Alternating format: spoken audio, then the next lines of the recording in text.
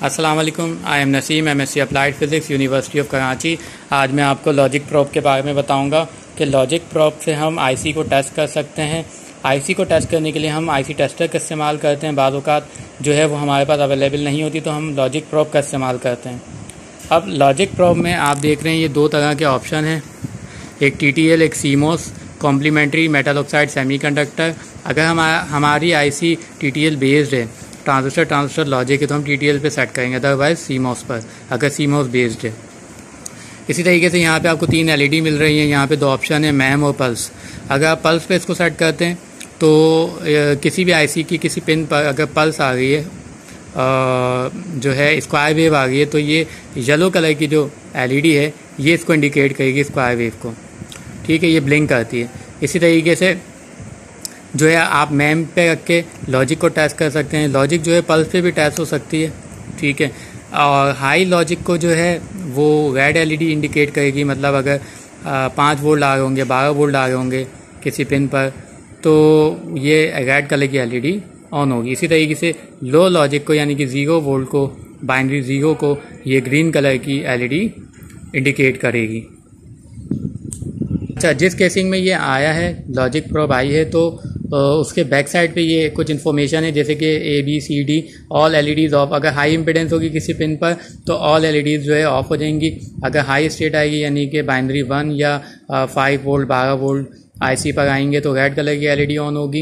इसी तरीके से लो स्टेट पर ग्रीन कलर की एलईडी ऑन होगी. इसी तरीके से ऑरेंज कलर की एलईडी या जो मैं कह रहा था येलो कलर की एलईडी तो उस पर ये ये पल्स पर जो है ऑन होती है, जब स्क्वायर वेव आती है.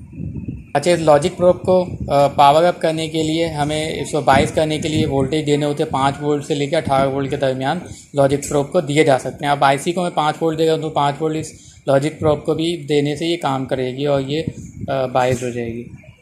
अच्छा अब जैसे कि ये ब्लैक कलर का टर्मिनल है और ये रेड कलर का टर्मिनल है, इसको रेड को मैंने फाइव वोल्ट दे दिए। जो मैं फाइव वोल्ट दूँगा वो एक डेवलपमेंट बोर्ड के थ्रू दूँगा, क्योंकि मेरे पास पावर सप्लाई नहीं है।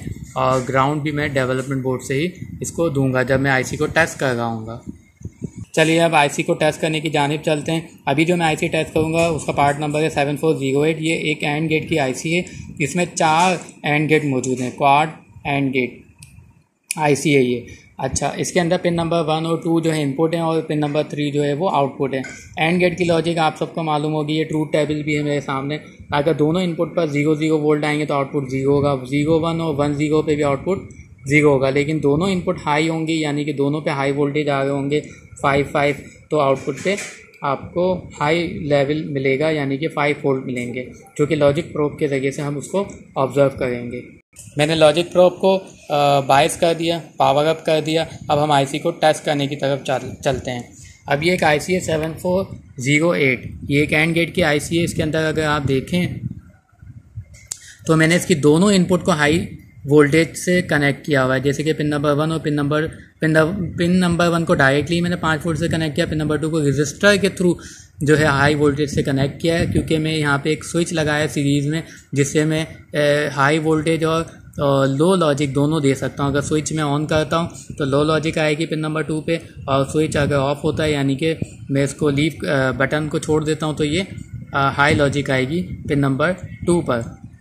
इस वक्त पिन नंबर वन और टू पे हाई लॉजिक है। ठीक है, हम लॉजिक प्रोप से भी इसको टेस्ट करते हैं। ये देखें लॉजिक प्रोप बता रहा है कि पिन नंबर वन पे हाई है। पिन नंबर टू पे भी हाई है। पिन नंबर थ्री पे भी हाई लॉजिक है। अच्छा मैंने पिन नंबर थ्री से इसको कनेक्ट किया हुआ है आउटपुट से कनेक्ट किया हुआ है। अब मैं बटन प्रेस कर रहा हूँ। तो देखो, ये लो लॉजिक हो गया। अभी मैंने जो इनपुट लॉजिक दिए, वो वन और ज़ीरो दिए। वन ज़ीरो पर आउटपुट जो है, वो ज़ीरो होता है। तो इसका मतलब है ये गेट बिल्कुल सही है। इसी तरह बारी बारी आप चारों गेट को, इसके पिन कॉन्फ़िगरेशन को देख के टेस्ट करेंगे। अब मैंने बटन जैसे कि छोड़ दिया हाई लॉजिक हो गई। इसका मतलब इनपुट वन और वन है आउटपुट भी वन है। अब इनपुट वन ज़ीरो है आउटपुट जो है वो ज़ीरो है। इसी तरह आप इनपुट को ज़ीरो और वन प्रोवाइड करके आउटपुट लॉजिक टेस्ट कर सकते हो। ट्रूथ टेबल को वेरीफाई करना है। बारी बारी तमाम गेट्स को आप टेस्ट करोगे और ट्रूथ टेबल को वेरीफाई करोगे और अगर वो वेरीफाई करेगा तो उसका मतलब आईसी सही है अदरवाइज़ आईसी ख़राब है। अब जैसे ये बराबर में जो आईसी आपको नज़र आ रही है, ख़राब है। इसने ट्रूथ टेबल को वेरीफाई नहीं किया। तो जो है, आप जो है इसको टेस्ट कर सकते हो। अभी मैंने सिर्फ़ आपको तरीका बताया तो आप अपने घर पे जो है इसको ट्राई कर सकते हो।